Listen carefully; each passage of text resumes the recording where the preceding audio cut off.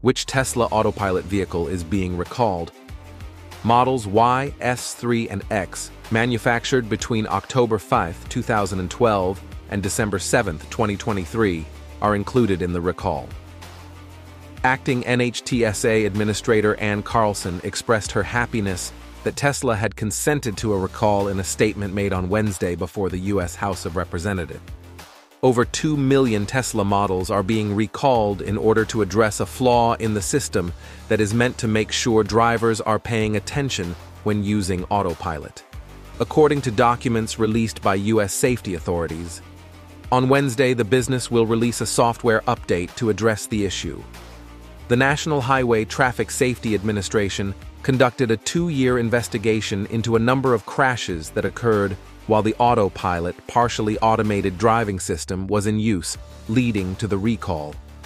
A few were lethal.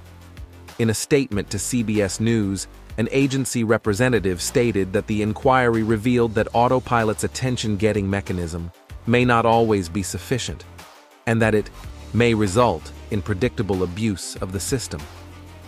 Almost every Tesla sold in the United States is included in the recall which also includes models Y, S, 3, and X, built between October 5, 2012, and December 7 this year. In an effort to further encourage the driver to adhere to their continuous driving responsibility, the software upgrade has added new controls and notifications. Owners of some of the impacted cars received the software update. Owners of the remaining vehicles received it later. If automated technology is used responsibly, it has a lot of potential to increase safety.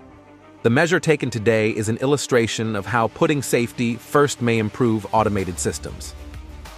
Auto steer and traffic-aware cruise control are two of the capabilities that autopilot offers.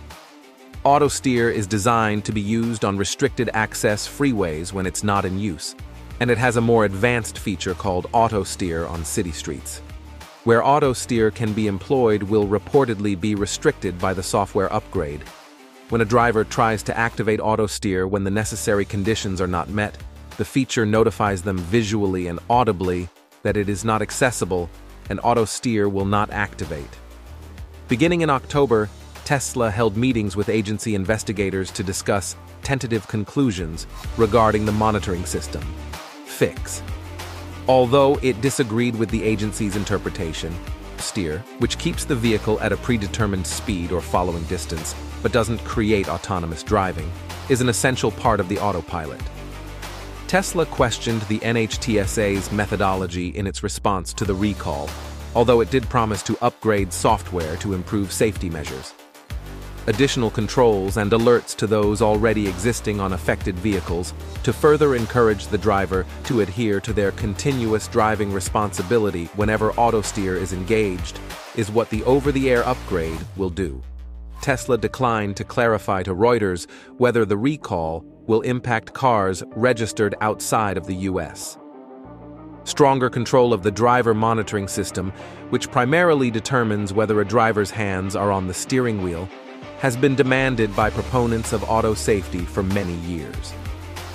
Monitoring technology is so easily tricked, according to independent tests, that drivers have been detected operating a vehicle while intoxicated, or even just sitting in the rear seat. The safety agency received a defect complaint from Tesla, stating that the autopilot's controls may not be sufficient to prevent driver misuse. According to Tesla's website, drivers must always be prepared to intervene because both autopilot and the more advanced full self-driving system are designed to assist but cannot drive autonomously. Tesla's owners are testing fully autonomous vehicles on public roads. Tesla claimed that using autopilot increases safety in a message that was published on what was once Twitter. Since 2016, the NHTSA has sent investigators to 35 Tesla crashes where it believes the cars were operating on an autonomous basis. Countless individuals have lost their lives. The probes are part of a broader NHTSA inquiry into several incidents in which Teslas operating on autopilot collided with parked emergency vehicles responding to other collisions. Over the past year, the NHTSA has stepped up its pursuit of safety issues with Tesla vehicles, issuing numerous recalls and investigations. If you liked this video, please give us a thumbs up. Make sure to subscribe to our channel and hit the bell icon to receive notifications.